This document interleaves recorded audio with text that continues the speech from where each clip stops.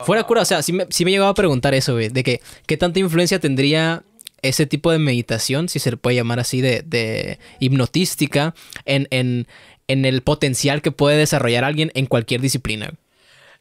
Erga, se me hace que es algo muy loco, güey. Porque, pues es que mucha gente sí lleva el pedo de la motivación a otro grado, ¿sabes?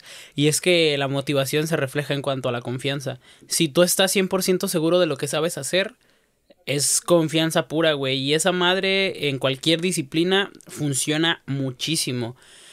Yo siento que si llegas a un evento sabiendo o teniendo esa previa planeación, incluso mental, güey de que sabes que te va a ir bien, de que te sientes bien contigo mismo, es otro pedo, güey, porque lo llevas muy cabrón a, a, reflejarlo en el escenario o sobre cualquier tatami en el que vayas a hacer tu expresión artística o disciplinaria que tengas, güey.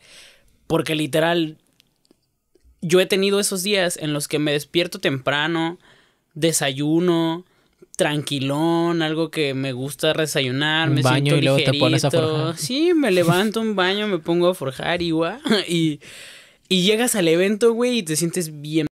Y es así como de, "Ah, ¿quién de todos estos güeyes me aguantaron? verga?" Pero hay días en los que no, güey. Hay días en los que se te ocurrió la brillante idea de, ah, puto, me pasó, güey. De hecho, perdí una regional en semifinales. Eh, por eso mismo, güey. Porque un día antes yo traía así como que me desperté temprano, un día antes. Y dije, ok, lo que hoy tenemos que hacer es sobrevivir y evitar las invitaciones a pistear de todos los fines de semana. Ok. Y hay que llevártela tranquila. Si te vas a tomar, tomas tranquilo, te duermes temprano, mañana te paras, desayunas, te vas, compites, ganas, te regresas y todo bien. Y hice todo lo contrario, güey. En la noche me desvelé, güey. Me fui a pistear, me puse un pedón, güey. Me desperté bien crudo, como a las 4 de la tarde. Llegué tarde al evento, mal comido, desvelado. Y perdí en semifinales. O sea, es, Wow. como, es como de que. Dependiendo qué tanto proyectes esa disciplina y esa confianza, Es el desempeño puedes que hacer llevaría. cosas muy grandes, güey. Pero. Bueno, es que no, pero, güey. Pero es, es- es que la, la cuestión. Es que yo me aventé el, el creativo, obviamente, de, de John Milton con, con Roberto, güey. Y, y John Milton dice, güey, que él le hizo un... Bueno, tuvo varias, varias conexiones con un, con un morrito que tenía cáncer. Y que le habían dicho, la neta, no pinta bien esta madre. Y la señora fue con él, su mamá. Y, y le dio un, un disco. Así de... de pues un audio, como un audiolibro, pero una automeditación guiada Sí, de John Milton. Y, y pues ese disco específicamente era para. No sé, ¿cómo, cómo dijiste ahorita que se hacía la, la re. La reinsert. No, la re. ¿Qué? Lo que te dije ahorita, güey, del, del disco que John Milton. Tú dijiste la palabra, güey. Verga, Re, güey. re algo. Soy bien malo para recordar Bueno. cosas que dije, güey. Neta, güey. Bueno, el punto es que. Pues este disco es como. Ajá, la guía espíritu. No, la guía. La audio guía. No sé, güey. Sí, no sé cómo sí, se diga. Eh, y, y- y con el paso del tiempo, pues le ponía el disco la, la mamá un chingo de veces, y un chingo de veces, y un chingo de veces. y, y- y su cáncer progresó, güey. O sea, no seas mamón, güey. O- ok, entró como en una resiliencia. Eh, Sí, algo así. Y- Ok. Y, dices tú, no mames, o sea, ¿qué tanto? Digo, tampoco es como que a un CD que cure el cáncer, ¿no? Sí, sí, sí, pero... Pero, ajá, como que la, la historia detrás, güey, de, de Sí, esa sí, madre, o sea, sí. lo que repercute toda la disciplina externa que estás creando, todo el enfoque, toda la manifestación, si lo quieres ver así. Sí, claro. Eh, el realmente sentir, eh, tener a fe desde lo más profundo de tu ser, güey, Es que está muy cabrón, está muy cabrón. yo siento que te lo entrañas, güey. Hace poquito estaba escuchando... u- Ubicas la serie de Netflix, güey, que se llama Midnight Gospel. Simón. Ah, pues eh, cuando no tengo oportunidad de verla porque ya me quiero dormir y a mí la luz del teléfono me distrae mucho para dormir, a veces me pongo a escuchar el podcast que tiene en, en Spotify, que es literal el capítulo, güey, pero, Pero pues solo lo estás escuchando. Y hay un personaje del capítulo 3, güey, que es el vato, el, el pez este que tiene helado, que no hay, hay una escasez de helado. Ni idea, güey. Ah, bueno, pues está, no me acuerdo ni cómo se llama, güey. Pero este vato menciona algo bien coherente y que si hablas de todo este tipo de cosas es muy cierto, güey. La dirección, tus pensamientos influyen en la dirección de tu energía, güey. Bueno, no lo dice exactamente con esas palabras, Sí. pero es la forma en la que yo lo entiendo, güey. Entonces, Es eso, y la otra es una frase con la que comienza dentro una canción de los hijos de las hojas, que es aquello que se, que se cree en tu interior y se proyecta, es todo aquello que tú atraes, güey. Sí, al viajado, güey. Le, le hablé, le hablé en Chihuahua, güey. Me dijo que Simón, pero nomás me postergó las horas, güey. Maldita sea. Quedamos de, quedamos de, de hacerlo en línea, pero no, no le moví ese cotorreo, güey. Simón, Güey, ya estaba bien chingo conocer al ojal, güey. Ahí andaba. triste. Ahí andaba. Pero sí, la neta. Por eso te, por eso te digo, güey, o sea, no sé qué tanto sea. John Milton tiene una clave para desconfigurar ciertas cosas a través de la meditación guiada Sí, o de la respiración, de la hipnosis y qué tanto es la influencia de todo lo que te está sucediendo alrededor para que tú crees que una situación se dé.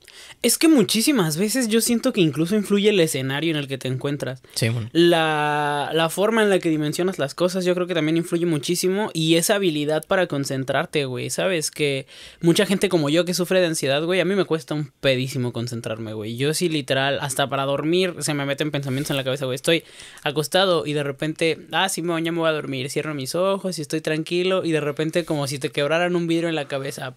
Sí. ¿Qué voy a comer mañana? Ah, no sé, y te vuelas, güey. O sea, está bien tonto porque te vuelas. Así, güey.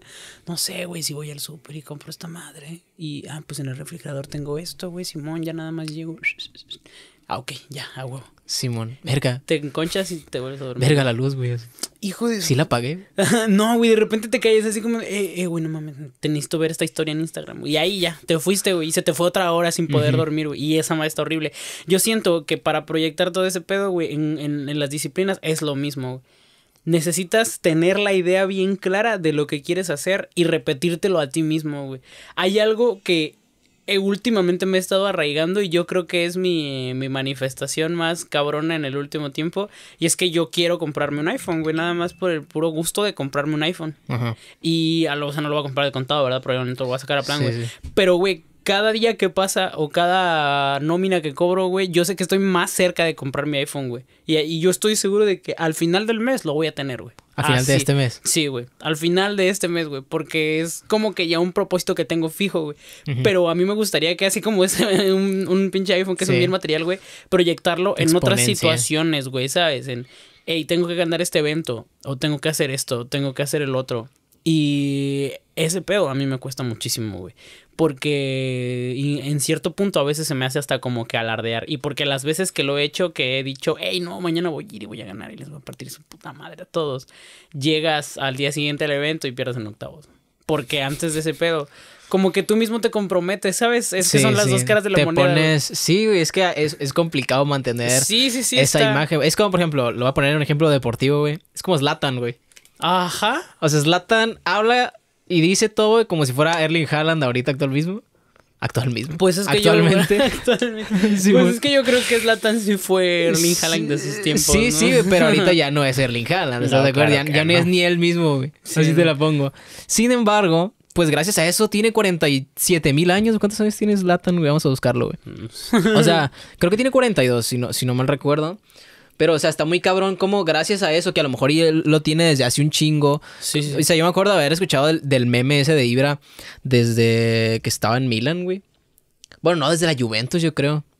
Ibra, ¿salió? No, salió Ibre. ¿Qué puse? Fire. Ibra Slatan. Así.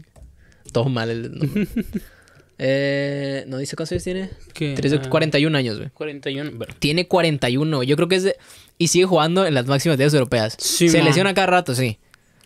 Pero, Pero tiene ajá, ganas. a los 41, güey, ganó, ganó la Serie A el año pasado. O sea, no seas mamón, güey. Qué A sus cabrón, 41 años, güey. Y luego, y luego lo que, lo que esa figura representa para el equipo es increíble. Es, güey, si, si Zlatan no hubiera estado ahí, no hubieran llegado, güey. Un líder, ¿no? Ajá, En realmente un líder dentro y fuera del vestuario, güey, una imagen, alguien a quien le tienes que tener la fe, güey, de que realmente claro. lo hace. Y si nadie hace eso, güey, pues no llega, güey, ya ven el pinche PSG. Pues es que. ah, O sea, no tienen, no tienen a alguien, o sea, tienen Mbappé, sí. Sí, sí, Estoy sí. completamente de acuerdo. Pero luego,